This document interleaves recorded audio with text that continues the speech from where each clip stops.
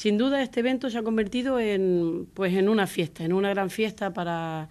para el deporte de Arona, donde se hace un reconocimiento público a, a los deportistas del municipio, al esfuerzo, al trabajo, a la disciplina de todos los deportistas bueno, que han salido de aquí, del municipio de Arona, y también, por supuesto, que no quiero dejar de lado a los padres, a los presidentes y a todos. Aquí se hace ese reconocimiento y es una gala que lleva 16 años con este, va a ser 16 años haciéndose y yo creo que, vamos a apostar y vamos a seguir con, esta apuesta. Em, hay novedades en cuanto a que la ubicación eh, no va a ser la misma que las 15 ediciones anteriores. Eh, antes se hacía en la pirámide de Arona, ahora eh, la nueva ubicación es el Auditorio Infanta Leonor de los Cristianos.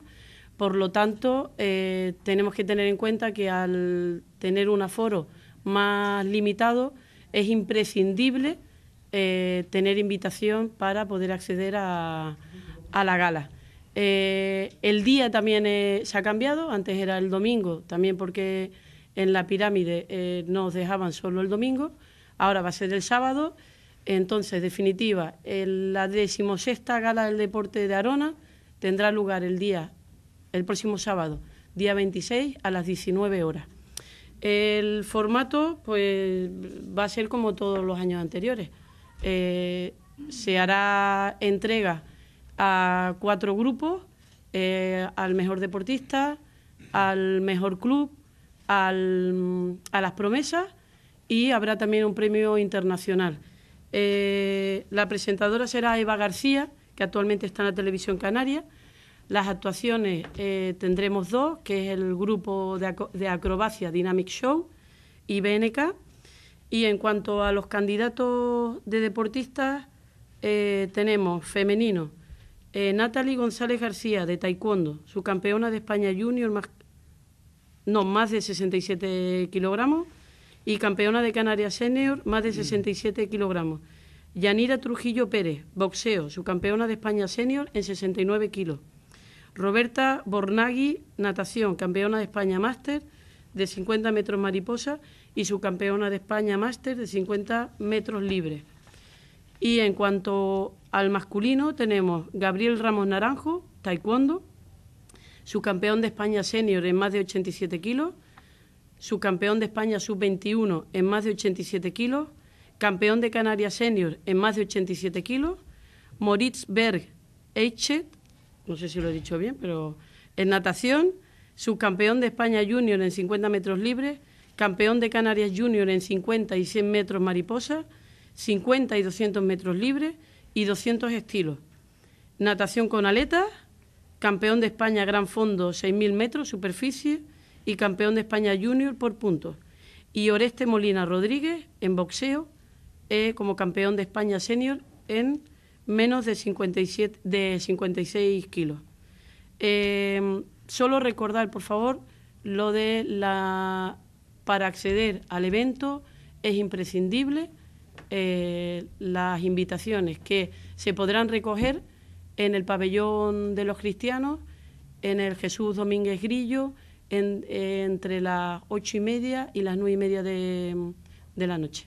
Para cerrar el acto, decir que, bueno, eh, comenzar como casi que terminé diciendo que, la gala, eh, la curiosidad que yo destacaría es que eso, después de 16 años,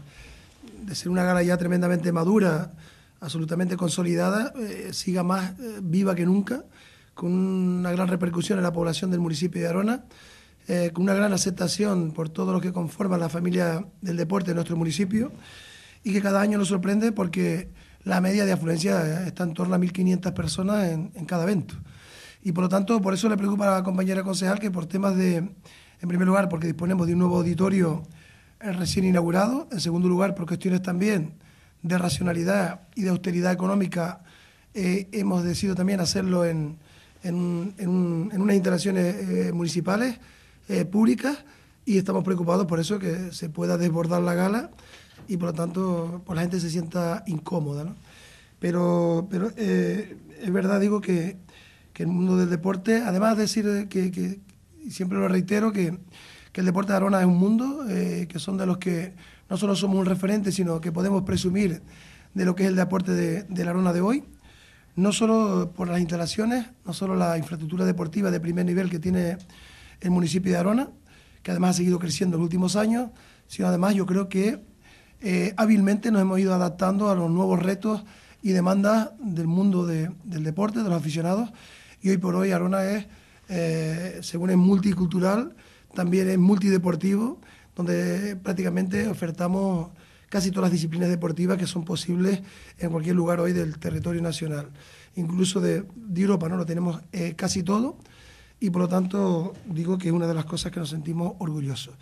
Y además en dos líneas de trabajo, ¿no? Está la parte competitiva, que, forma parte de la Gala del Deporte, donde entregamos premios por trayectorias deportivas. Tenemos deportistas con, campeones, campeonatos nacionales que han participado en, incluso en Olimpiadas, en campeonatos europeos. Y luego está la otra vertiente de, la de facilitar el, acceso al deporte, a la práctica del deporte, a todos los sectores, a todos los segmentos de la población aronera desde los niños, las niñas, adolescentes, personas mayores, tercera edad y sobre todo también con un componente importante social para la práctica del deporte de las personas que tienen algún tipo de discapacidad. Es decir, que, además lo hacemos en esa vertiente del deporte como fuente de salud, como, como un recurso sano y saludable para nuestra, nuestra población. A continuación voy a anunciar el, el premio internacional al que también hacía alusión la compañera concejal de deporte, que dentro del mundo del deporte este año pues, se ha querido premiar como leyenda del deporte a dos grandes de la lucha canaria, eh, como son de Rodríguez, el pollo de Tenerife, y José María González, eh, Parry segundo. Pues entonces, pues ahora invitar eso a, hacer, a proceder a la votación de, las propuestas que hemos señalado. Si hay alguna pregunta con respecto a la gala del deporte. Bueno, el aforo solo que el aforo no se ha dicho, pero sí, el aforo está en torno a 800 personas, o sea que pasamos de 2000 a, de aforo que tenía el Mare Nostrum en la auditoria a, nuestro auditorio público que está en torno a 800 personas, que también es una cifra eh, considerablemente alta, ¿no?